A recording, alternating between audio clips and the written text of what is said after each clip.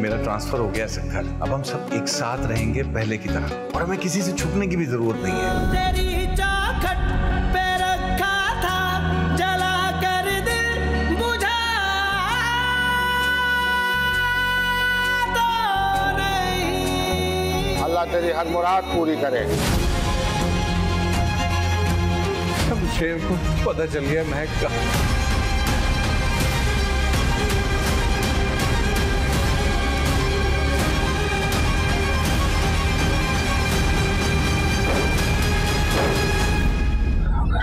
जाने का सोचा।